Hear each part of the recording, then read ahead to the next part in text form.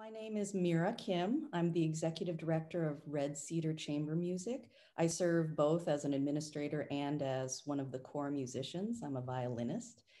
And uh, I'm hailing from Iowa City, Iowa, my home in Iowa City, Iowa, but our organization serves all of Eastern Iowa. I've been playing violin since I was seven years old. And I am still friends with my teacher who started me on the instrument. And she, in fact, taught my son for a while as well until she finally retired. You know, we were in a bit of a state of shock, of course, when things shut down. We had an entire spring schedule with performances um, through March, April, May. and suddenly, March 13th, we gave our final performance and we decided it wasn't safe to continue. And so we've had to reschedule and replan future seasons. And of course, we plan ahead by two or three years. So everything changed. And then it was a question of what can we do to continue to reach our audiences? We've we've our organization's been in Eastern Iowa for 24 years. Um, my husband, who's the artistic director and the cellist, um, and I have been directors for this is now our fifth season. So um, we've got a few years under our belt, but the organization is well known in this area. And, you know, we go into the nooks and crannies of our communities. So we take the music to libraries, we take the music to senior living communities, we take the music to um, school classrooms and do extended residencies, not just, you know, a one one concert in the gymnasium sort of thing. So obviously, you know, all of that got put on hold.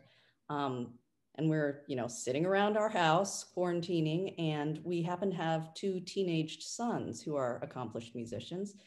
Um, and we decided, well, let's use our sons. They can be emerging artists. They're obviously not professionals quite yet. And let's put together some programs where we live stream from our home we had the unique luxury of having four musicians quarantining together so that we could make music in real time rather than doing layered recordings.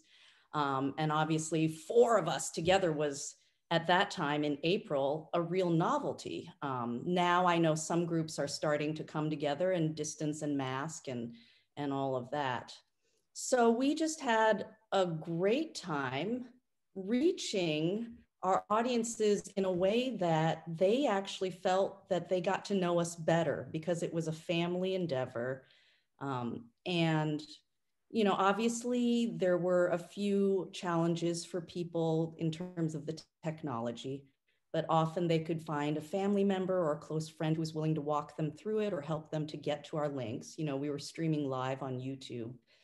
And uh, we've offered those performances for free and they stay up and people can still access them if they want. We got amazing feedback from people either via like Facebook, text messages, emails, cards, even saying that, you know, in these troubling times, it was so comforting to see, you know, something that they're familiar with and to hear the great music.